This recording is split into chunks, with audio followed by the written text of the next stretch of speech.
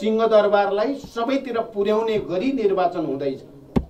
त्यस कारण यसलाई त्यो रूपमा बुझ्न जरुरी छ र यसलाई सफल पार्नको निम्ति हामी सबैले एकताबद्ध पहल गर्न पनि जरुरी छ र त्यसो गराउने प्रमुख जिम्मेवारी पनि हामी माओवादीहरूको र क्रान्तिकारी कम्युनिस्टहरूको नै हुन आएको छ।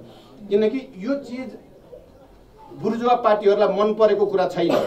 यी सबै कुरा जुन नयाँ संविधान नयाँ मान्यता अनुसार हामी जान खोज्दैछौँ। त्यो यो देशका सामन्तीहरू दलालहरूलाई यो मन पर्ने कुरा होइन मन परेको छैन।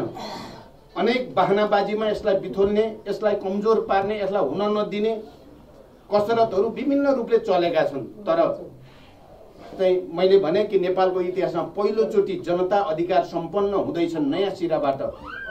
र यस्ता एउटा जग बस्न सक्छ अहिले स्थानीय तहबाट जो भोलिको समाजवादको भ्रूण हुन सक्छ। एउटा स्थानीय स्तरबाट नै एउटा यस्तो इकाइको गठन जुन इकाइ मार्फत हामी समाजवादको यात्रातिर जनवादी क्रान्तिको पूर्णतातिर चाहिँ हामी अगाडि बढ्न सक्छौँ। बढ्नुपर्छ। हामी कम्युनिस्टहरूको ध्येय।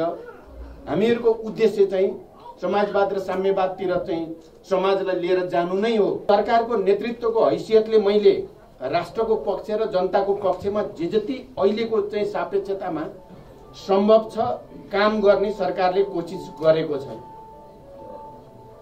र पहिलो पटक केही सकारात्मक सङ्केतहरू नेपालको राजनीतिमा र आर्थिक स्थितिमा जनताको जीवन स्थितिमा देखा पर्न खोज्दैछ।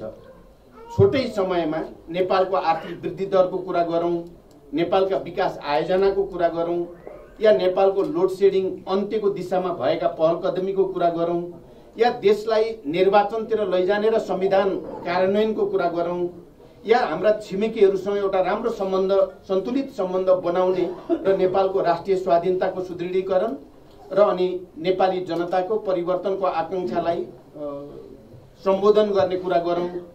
स्थानीय तह निर्माण र त्यसको निर्वाचनको प्रक्रिया।